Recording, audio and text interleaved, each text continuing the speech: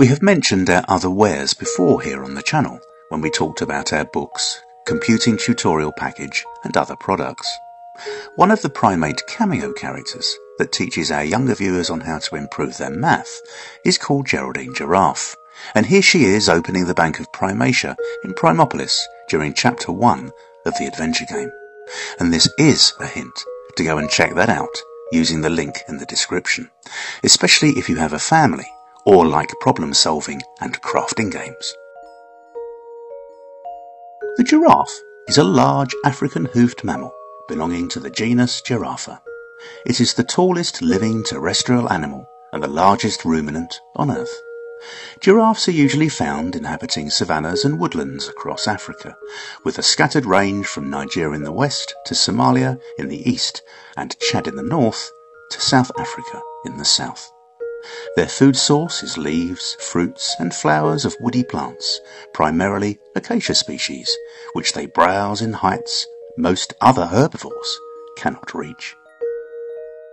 The giraffe is one of only two living genera of the family Giraffidae in the order Artiodactyla, the other being the okapi. The family was once much more extensive, with over 10 fossil genera described. The elongation of the neck appears to have started early in the giraffe lineage. Comparisons between giraffes and their ancient relatives suggested vertebrae close to the skull lengthened earlier, followed by lengthening of vertebrae further down. As well as being the tallest animal on Earth, giraffes are a keystone species and play an important role in the environment where they live. However, this iconic species faces the biggest threats to its survival due to habitat loss, human population growth, poaching, disease, war, and civil unrest. The giraffe's neck has the same number of vertebrae, seven, as the human neck, just with each one being 25 centimetres long, and they can survive for two to three days without drinking water as they gather their water requirement from food and dew on the plants. Adult males can grow to around five and a half metres and reach a speed of 60 kilometres an hour at a gallop over a short distance and 50 kilometres an hour over a longer period. They are highly social animals and live in herds of 15 to 20 female giraffes and some young males. Male calves will leave their mothers and the herd from around 15 months and join bachelor herds of other young males.